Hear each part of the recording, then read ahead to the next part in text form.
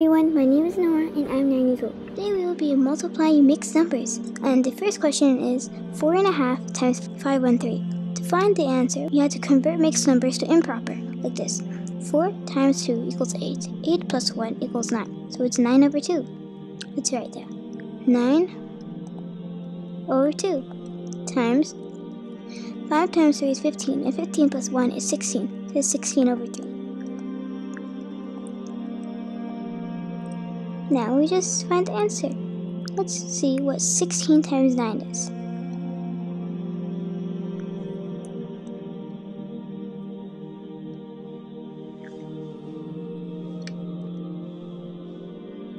Nine times one is nine. Nine plus five is fourteen. It's one hundred forty-four. And three times two is six.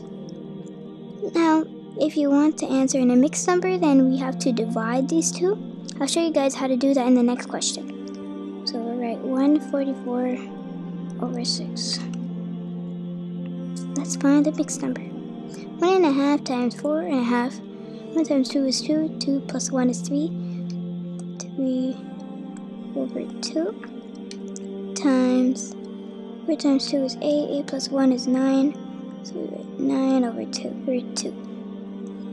9 times 3 is 27, and 2 times 2 is 4. Now we divide. Put 27, put a 4 here. 4 times 6 is 24, so I put a 6 up here, put a 24 here. When you divide, the mixed number starts with the quotient, remainder, then dividend. So it's the answer is 6 3 fourth. That's how you find a mixed number. Fourth. Super. 3 1 third times 4 2 fifths. 3 times 3 is 9. 9 plus 1 is 10 over 3 times 4 times 5 is 20. 20 plus 2 is 22. 22 over 5 equals 220 over 15. Let's find the mixed number. 220, put a 1 here, 15. 12 minus 5 is 7. Now we bring down the 0. 15 times 4 is 60.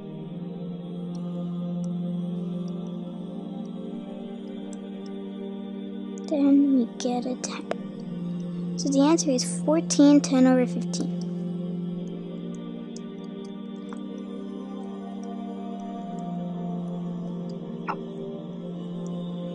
Now it's 1 3 fourth times 3 3 fourth.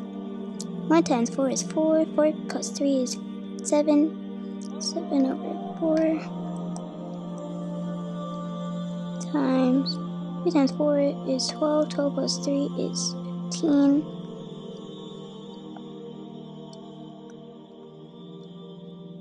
15 times 7 let's count 15 30 45 60 75 90 105 the answer is 105 over 16 because 4 times 4 is 16. But the improper fraction is 105 over 16. Let's just write that.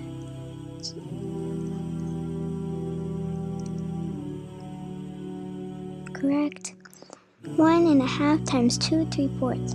1 times 2 is 2, 2 plus 1 is 3. 2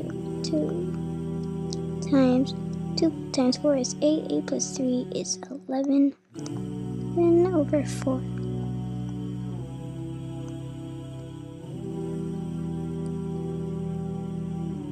Thirty-three over eight.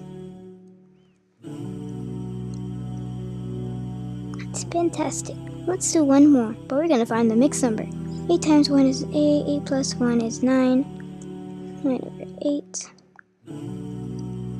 Times 3 times 9 is 27. 27 plus 7 is 34. 34 over 9. Find the answer. 34 times 9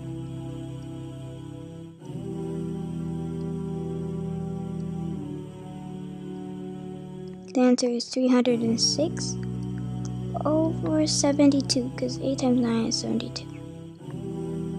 Divide 306 divided by 72.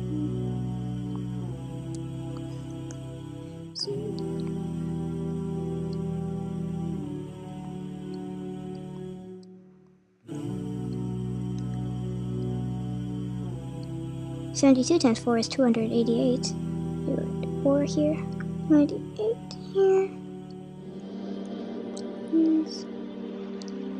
Two, ten, nine. Nine minus eight is one. The answer is 418 over 72. 418 over 72. Terrific! We got it correct. Can you do this problem on your own? 3 1 over 7 times 3 1 over 6? I hope you learned how to multiply mixed numbers and see you next time.